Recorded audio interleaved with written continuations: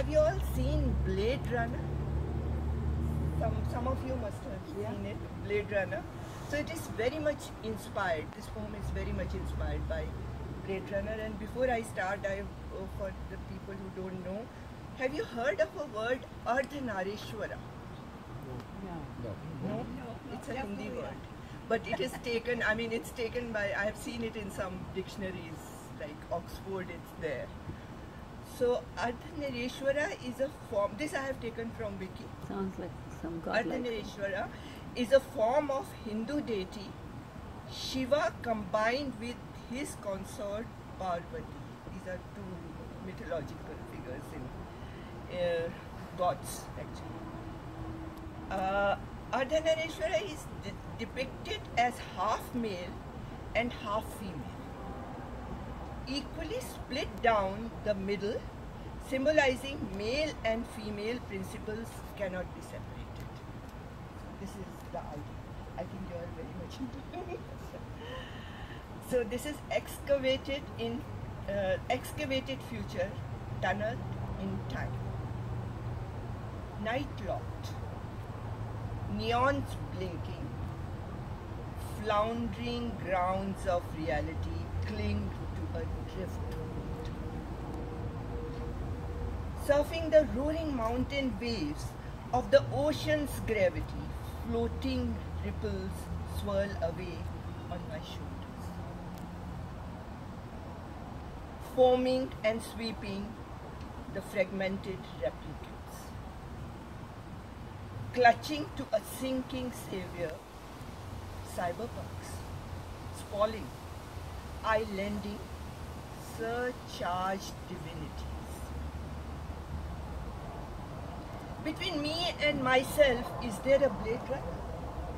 Between me and myself, is there a blade runner between the dots and the lines? Are there no interludes? Between the sky and the sea, is there no seashore? Between the sound and the music, is there no symphony? Between the moon and the sun, are there no cometary asteroids shoot, or shooting stars? Between the day and the night, are there no whirling fireflies? is between the life and the death. Between the life and the death, is there no tracing smoke? Between the cause and its effect, is there no simmering karma? Between sanctum and sanctorum, is there no between the anima and the animus, is there no androgynous earth nourishment? Between Venus and Mars, is there no hermaphrodite homogeneity?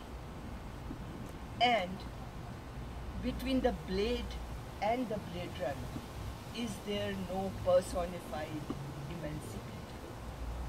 Or is it just a piercing, remote, razored gaze, lasering off the decayed and the old, the container and the contained, edging the reason? Wow. Amazing.